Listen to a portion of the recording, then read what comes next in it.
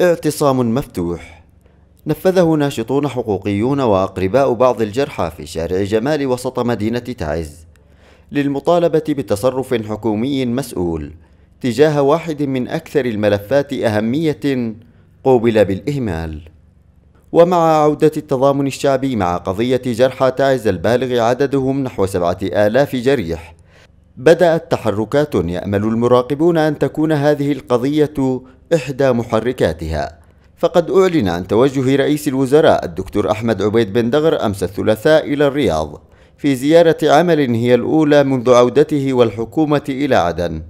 وبحسب وكالة الأنباء الرسمية سبأ التقى بن دغر نائب رئيس الجمهورية الفريق الركن علي محسن الأحمر وبحث معه قضية جرحى تعز وبحسب الوكالة وجه نائب الرئيس بسرعة تشكيل لجنة لحل مشكلة جرحى تعز عبر وزارة الصحة العامة والسكان والجهات المختصة.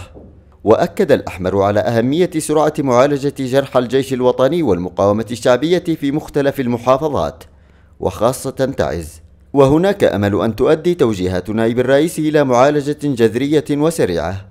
تكون فيها جهود الحكومة فعالة وغير مسبوقة لحل قضية الآلاف من جرحى تعز. بعد إهمال رسمي طويل الأمد ترك ظلالا قاتما على مصداقية الحكومة الشرعية ودور الرئاسة اليمنية بكامل قوامها تجاه جرحى تعز. أكثر المحافظات اليمنية تضحية ومعاناة. في سبيل هدف اليمنيين الواحد ومصلحة الشعب العليا والمتمثلة بدحر الانقلاب الإمامي المدعوم من إيران.